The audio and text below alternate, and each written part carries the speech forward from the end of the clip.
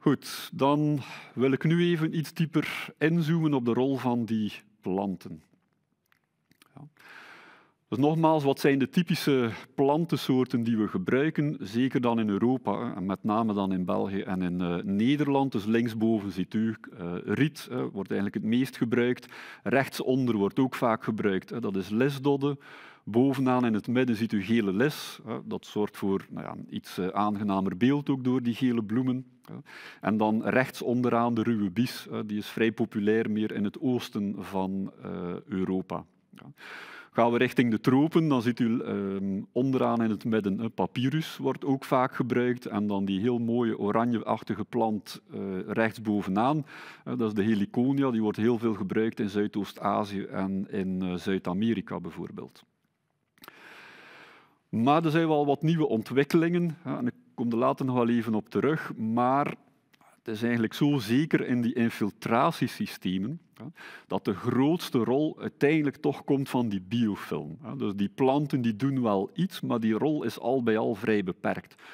Dus wat we uiteindelijk zien is dat bepaalde bedrijven toch wel kiezen voor een andere aanpak. Uh, dus het voorbeeld van de bovenste foto's, dat is een voorbeeld uit Nederland, wordt er hier en daar overgeschakeld op wilgen uh, in die systemen. en die wilgen die hebben eigenlijk het voordeel ja, dat dat hout dan ook nog wel gebruikt kan worden om te verbranden, om daar iets anders nuttigs mee te doen. Dus dit dient dan eigenlijk ook meer voor biomassaproductie bijvoorbeeld. Het systeem dat u onderaan kan zien is vrij bekend in Vlaanderen. Dat is het project Lodegem van Hello Water. Daar worden eigenlijk geen oeverplanten meer gebruikt. Daar worden gewone ja, tuinplanten eigenlijk gebruikt, uh, waar we dan ook wat meer variëteit, wat meer met kleur en dergelijke kunnen spelen. Werkt eigenlijk even goed. Ja. Nu, met deze slide wil ik even aantonen waarom dat die planten uiteindelijk niet superbelangrijk zijn. Als we even uitgaan van de standaarddefinitie van een inwoner-equivalent, dan vinden we terug in de wetgeving, dus elke persoon die produceert gemiddeld gezien per dag een 2 gram fosfor via het afvalwater. Als we dan ook even uitgaan dat zo'n helofietenfilter sorry, gedimensioneerd wordt op een 3 vierkante meter per persoon, wat dat eigenlijk al vrij ruim is, dan kom je op die manier eigenlijk uit aan 240 gram fosfor per vierkante meter helofietenfilter en per jaar. Als u dan even meevolgt op die grafiek rechts, dan ziet u dat bij een influentbelasting van die 240 gram per vierkante meter, dat uiteindelijk maar grote orde 5% van al die fosfor naar de bovengrondse biomassa gaat. Reken dan nog, een paar procenten bij voor fosfor die naar de ondergrondse biomassa, naar de wortels gaat. Maar dus 10% is zowat het maximum. Dus dat is de rol van de planten, 10%. De rest moeten we uit andere processen halen. En dus voor stikstof is het verhaal vrij gelijkaardig. Dus daar komen we ongeveer aan een 1200, 1200 gram stikstof per vierkante meter en per jaar. Eh, en daar komen we ongeveer uit op een 8% die uiteindelijk in de bovengrondse biomassa terechtkomt.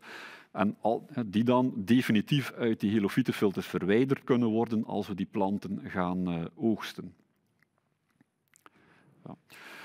Uiteraard, als we voor die rietvelden, voor die helofietenfilters, eerst een andere techniek gaan gebruiken, die al een deel van de nutriënten eruit haalt, dan gaan we natuurlijk die influentbelasting naar links gaan opschuiven, waardoor dat de relatieve rol van die planten wel een stuk toeneemt. Maar het blijft al bij al in de meeste gevallen toch vrij uh, beperkt.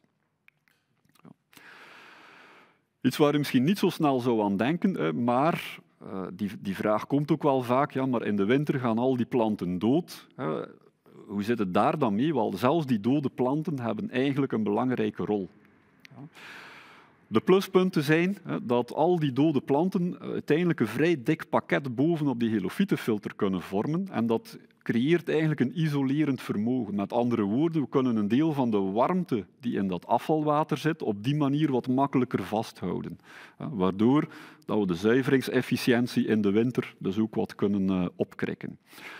Tweede, tweede, belangrijke rol is dat die dode planten, die worden langzaam maar zeker afgebroken, waardoor dat er ook een deel van de koolstof uit die biomassa terug vrijkomt in dat water.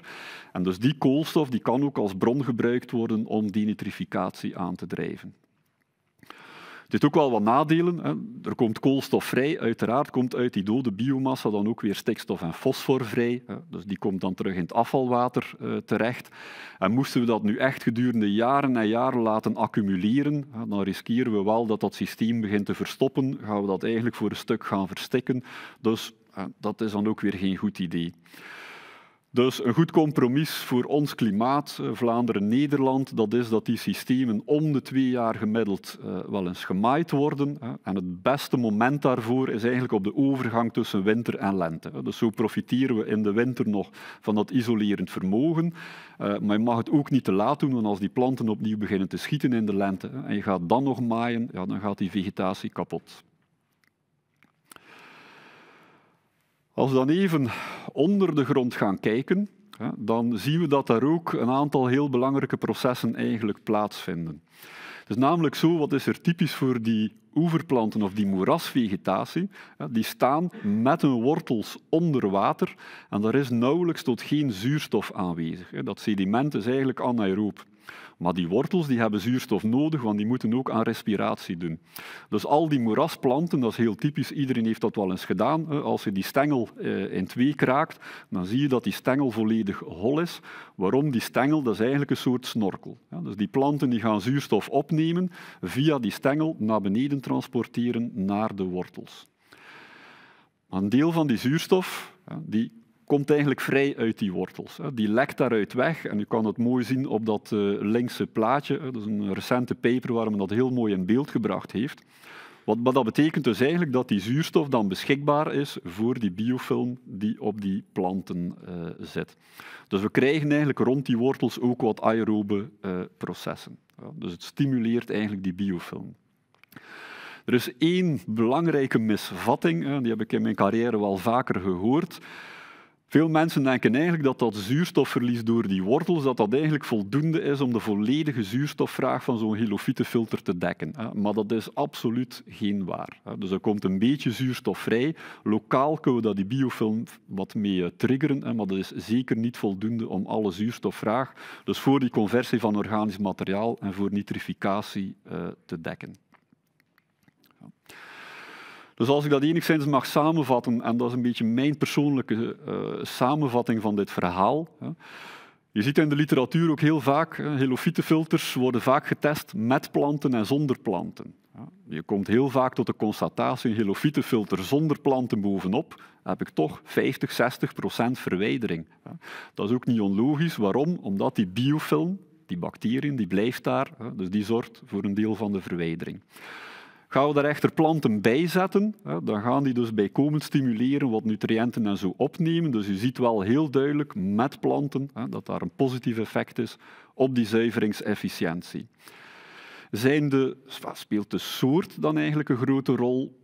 Daar zou ik durven zeggen, nee, eigenlijk niet echt. We zien eigenlijk in de literatuur dat er minimale verschillen zijn, maar om nu te zeggen dat de ene plantensoort plots zorgt voor een 20, 30 procent betere verwijdering, dat is meestal eigenlijk niet het geval.